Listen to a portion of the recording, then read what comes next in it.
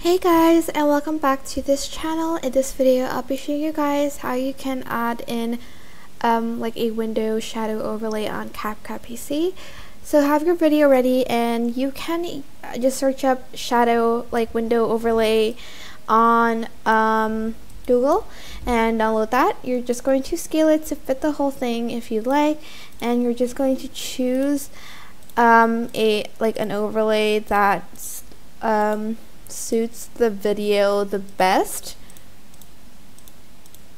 So I think I'm just going to choose overlay for this one and it's a little bit too bright as you can see but you can adjust the opacity right here and I know that the shadow doesn't show if I um, turn the opacity down but that's fine because we don't want the shadow too harsh anyway. You can also go to effects here and go to shadow.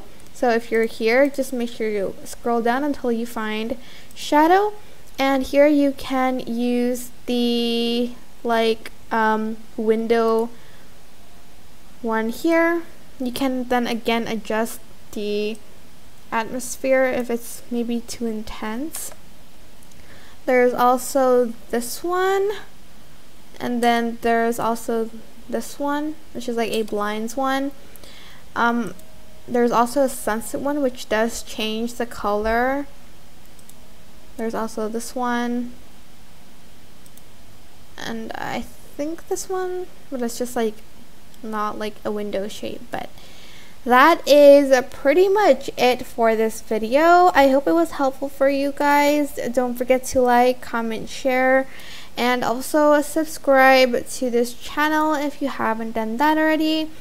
If you have any questions, just leave it in the comment section down below and I will try my best to answer them all for you.